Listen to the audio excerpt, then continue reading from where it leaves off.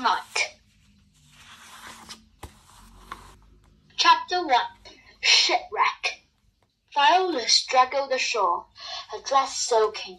All around were breaking waves and broken bits of wood, the remains of the ship she and her brother had been on.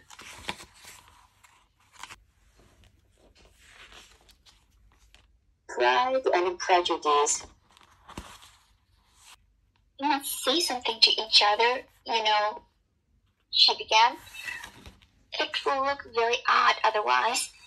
If I talk about the dance, you ought to make some remark about the size of the room.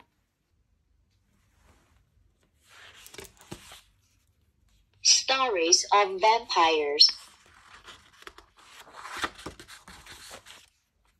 This diary belongs to Cecily Brownswood. Saturday. I can hardly wait. Tonight is my very first ball. But last night, did I dream of waltzes, ball gowns, and glittering chandeliers? Oh no, my dreams were far less pleasant.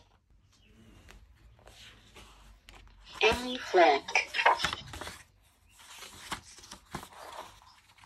Annie ran down the stairs and onto the street as fast as she could, her skinny legs going at full pelt.